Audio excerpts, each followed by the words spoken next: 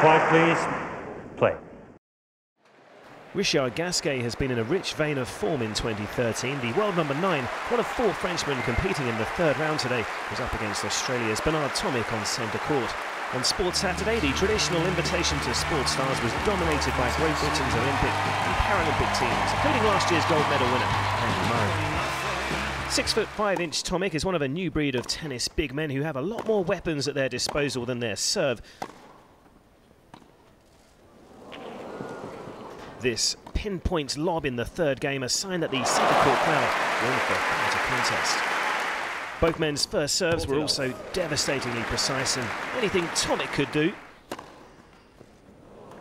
The inevitable tiebreak that followed was as tight and tense as the set that had preceded it. Tomic missed his first set point, but soon after forced another.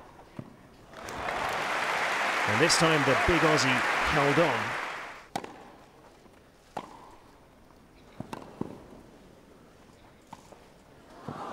was the first set he'd taken from Gasquet in their three meetings to date. Breakpoints had been scarce, but with the score at 4-5 in the second, Gasquet tensed up. Tomic had four set points, but he couldn't make them count. And somehow, his French rival survived. The set had been flipped on its head. Gasquet raced to love 40 up in the following game. It was Tomic's turn to face break points. From going two sets down, Gasquet was serving to even the match up. Game. second set, Gasquet. That's how quickly this game can change and a sign of the character the world number nine has shown all year. The third was another cliffhanger of a set, and again, it was Tomic who struck first.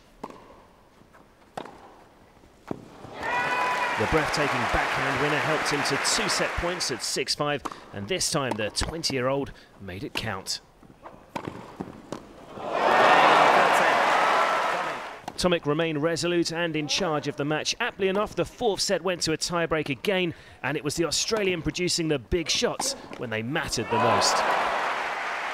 Tomic had three match points. He missed the first two, but on his thunderous serve, there was only going to be one result. One of the performances of the world number 59's career so far. Tomic knocks out the ninth seed and is through to the round of 16 for the third time at a Grand Slam tournament.